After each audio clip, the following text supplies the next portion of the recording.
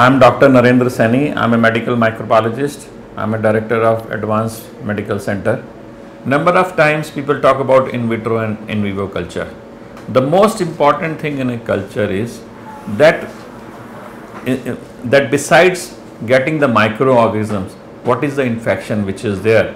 The more important than this, this is that we should be able to give which kind of a drug it will be sensitive or which kind of a drug we can give to a patient so that he is he is, he is relieved from the infection. So this is the most important part and this is called in vitro because this is outside the body we are doing a sensitivity and it should match with the inside of the body also that whatever sensitivity we are giving it should be matching with the sensitivity of the inside that if I am suppose a, a particular microorganism is sensitive to X drug X antibiotic then when it reaches into my body also that it should say the same kind of thing that it should be able to kill that organism. So that it should be able to reach to that particular concentration inside my body also that it kills those organisms. So this is called in vivo and it has to match with we are what we are doing what sensitivity we are giving is in vitro that is outside the body.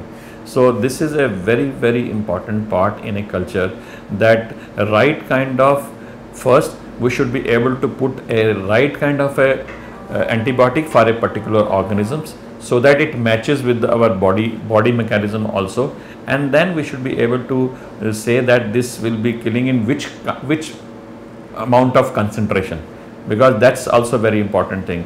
There are certain microorganisms which are very sensitive so uh, so a particular amount of drug will be sufficient but there are certain microorganisms which are quite resistant but in a higher dose they become in fact uh, uh, they become sensitive so in a vitro study now with with the with the advancement we can pinpoint that if a certain drug uh, is uh, sensitive a certain microorganism is sensitive in higher concentration, we can also pinpoint. That is called minimum inhibitory concentration. And that amount of drug should be given in vitro, in vivo also to that particular person. So this is a very, very important aspect.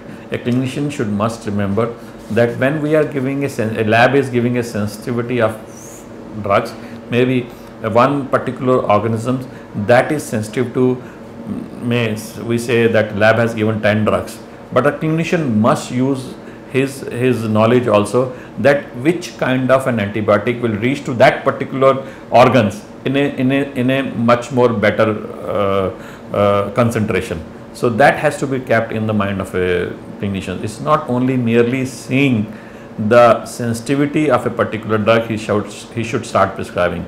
He should also use his or her knowledge to see to it that in vivo sometimes the things become different. So using that knowledge he or she should see from the in vitro sensitivity which kind of a drug will reach in that particular organ if that microorganism is more in that particular organ that which kind of a drug will be more useful in this case. So always a clinician has to keep in mind a difference between in vitro and in vivo sensitivity.